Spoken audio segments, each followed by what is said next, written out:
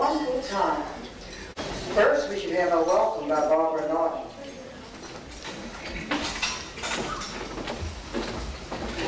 Hello out there. Hello. It's so good to see all of you.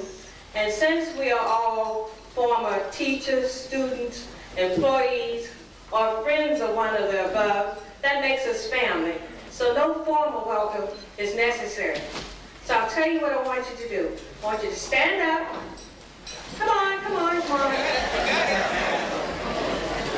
And I want you to walk to the table next to you, hug someone, and tell them how